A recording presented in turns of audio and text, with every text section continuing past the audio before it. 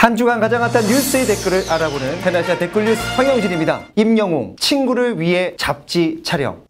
가수 임영웅이 지난 24일 축구 매거진 포포투 8호로 표지 화보를 장식했습니다. 임영웅은 국가대표 유니폼을 입고 등장했는데요. 축구 잡지 포포투의 표지 모델이 축구 스타가 아닌 인물로 표지를 장식한 건 처음입니다. 임영웅은 잡지사에서 인터뷰 요청이 왔을 때 무척 반가웠다며 축구 잡지를 하게 된 이유를 밝혔는데요. 군대에 4개월 정도 선임인 동갑내기 친구가 있었다. 그 친구가 축구를 굉장히 좋아했다. 그 친구를 통해 해당 축구 잡지를 처음 접했고 잡지를 보면서 이런저런 이야기를 하면서 친해졌다. 전역 후에도 잘 지냈는데 이 친구가 4월 세상을 떠났다. 친구가 세상을 떠난 뒤 마음고생을 하던 때 잡지 인터뷰가 들어왔고 이건 무조건 해서 친구에게 보여줘야겠다는 생각을 했다고 전했습니다. 여기에 수많은 댓글이 달렸습니다. 4개월 전이면 한창 경연 중이었을 텐데 마음이 얼마나 아팠을까. 좋은 일이 있는 와중에 그런 일이 있었네요. 친구분도 웅이님이 포포트 모델 하시는 줄 알면 하늘에서도 기뻐하겠죠. 눈물 날려고 해. 너무 마음이 이쁜 임영웅. 이렇게 의리 있고 멋있는 친구가 있어서 하늘에 있는 친구분 좋은 곳에서 있을 거예요.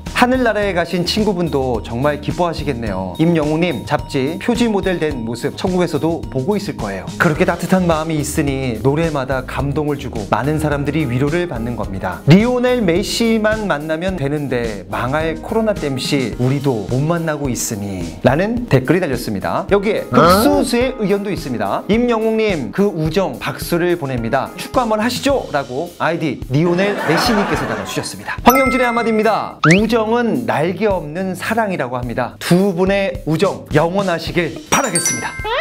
지금까지 테나시아 댓글리스 황영진이었습니다.